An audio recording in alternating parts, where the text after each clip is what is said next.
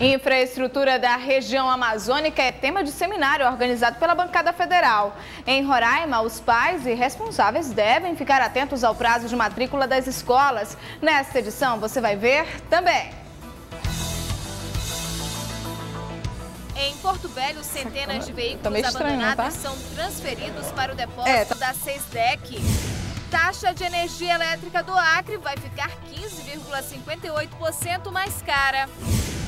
Inovação estratégica é tema de consultoria empresarial na capital amazonense. Durante o curso, os participantes também colocaram em prática os conhecimentos obtidos. E ainda, cosméticos à base de matéria-prima amazônica. Projeto do Sebrae quer desenvolver insumos com itens da floresta para o setor da beleza. O projeto tem a parceria de uma empresa de cooperação internacional do governo alemão. O Jornal da Amazônia está no ar. Olá, boa noite. O Ministério Público Federal promoveu uma audiência pública com representantes de comunidades quilombolas do Amapá. A intenção é encontrar meios para diminuir a burocracia na hora de regularizar terras remanescentes de quilombo. As comunidades quilombolas são constituídas pela população negra que tem como característica profunda relação com a terra, parentesco, a ancestralidade e prática cultural própria. Uma das preocupações de quem vive dentro dessas comunidades é a titularização dessas terras. O Amapá possui mais de 30 comunidades certificadas como remanescentes de quilombo.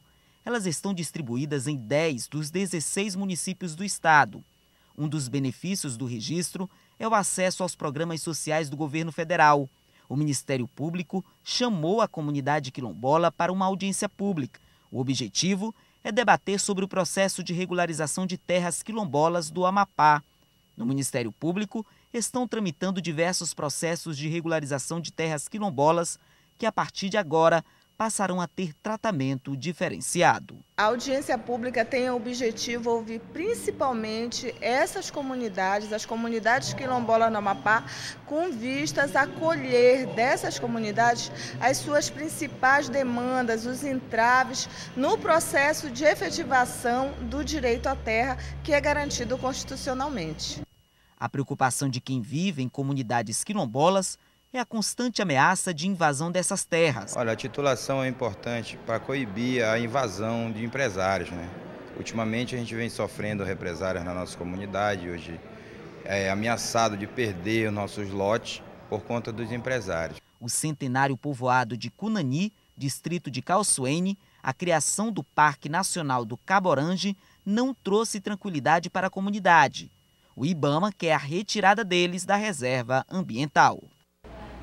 Representantes do DENIT, também parlamentares e outros órgãos participaram de uma caravana que percorreu a BR-319 para assim fazer uma análise e buscar, junto ao IBAMA, a liberação para a reconstrução de parte da via que liga né, o estado do Amazonas a Rondônia. E por esse motivo, nós convidamos o Elton Lopes, ele que é o nosso correspondente em Brasília, que participou desse momento histórico que busca, assim, né, a tão famosa reconstrução. Qual a análise feita por você, como jornalista que acompanhou esses representantes?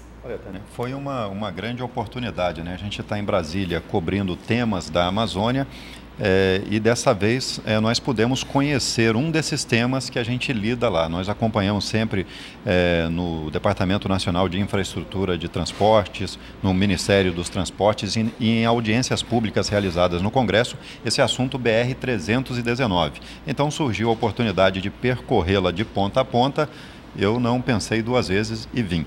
Bom, a BR ela tem vários pontos é, bons e ruins, né? E essas imagens que você confere agora na tela sua, do seu televisor é justamente da viagem feita por você, juntamente com representantes do DENIT e também né, parlamentares. Exatamente. Recebemos o convite para acompanhar essas diligências. Né? O vice-presidente da Comissão de Agricultura do Senado conseguiu aprovar um requerimento para que houvesse essas diligências, porque hoje existe um entrave muito grande. Esse trecho do meio que a gente está vendo aí nas imagens é, ele, a, as obras não começaram nesse trecho porque o IBAMA faz exigências é, bastante significativas ao DENIT para liberar a, a, reconstrução desse pedaço, que é um pedaço de 415 quilômetros, é, praticamente metade da rodovia que está abandonada. A rodovia foi construída 40 anos atrás e desde então não houve manutenção nesse asfalto. Temos pontes de madeiras caindo, temos muitos problemas. O asfalto nesse pedaço praticamente não existe, né? Muito buraco, muita,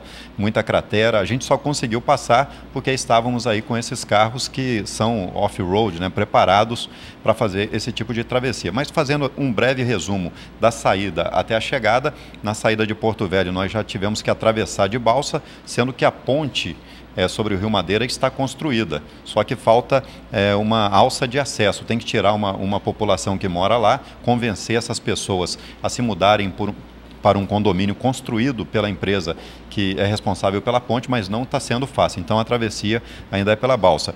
É, nos primeiros 200 quilômetros, na saída de Rondônia, a rodovia está muito boa, só que tem um lado negativo. Dos dois lados da BR, é, fazendas de gado, quer dizer, desmatamento. Mas isso é, é, no lado de Rondônia. Já no lado do Amazonas é mais preservado, embora tenhamos visto aí algum, algum desmatamento, algumas fazendas de gado às margens da rodovia. O problema maior é no trecho central. Esse trecho está preservado, tem unidades de conservação, parques ecológicos e o IBAMA quer que continue assim preservado, mas ele faz exigências aí, o, o DENIT precisa apresentar um estudo detalhado para que o IBAMA confie que essas unidades serão preservadas. Wellington, agora eu te questiono em relação às comunidades né, que vivem às margens da BR-319.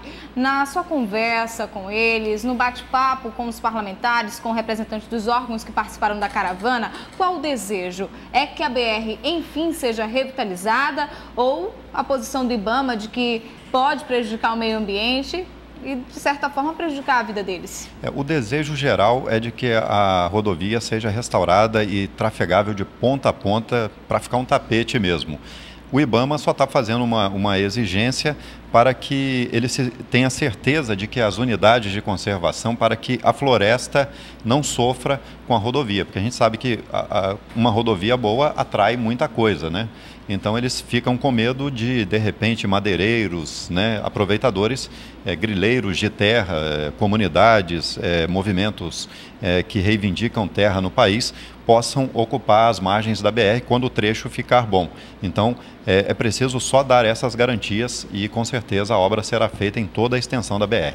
Wellington, muito obrigada pela tua participação aqui no Jornal da Amazônia. Você que sempre entra, né, direto da sucursal Brasília, um momento também de conhecer um pouco sobre a nossa região. Você que trabalha ali diretamente com os nossos parlamentares, questionando em relação a alguns temas, como esse, bastante polêmico, que é a BR-319. Mas você tem um convite, não é isso, aos tem, nossos telespectadores? Tem um convite. Estamos preparando uma série de reportagens e também um documentário é, esse conteúdo vai ser exibido aqui no Amazon Site para você entender como foi essa nossa trajetória aí pela BR-319, entender os problemas, as conversas que tivemos com comunidades que vivem, que vivem às margens dessa estrada tão importante para os estados de Rondônia, Amazonas e também para Roraima. Tá certo, muito obrigada mais uma vez, boa viagem, bom retorno a Brasília. Eu te espero amanhã direto da sucursal.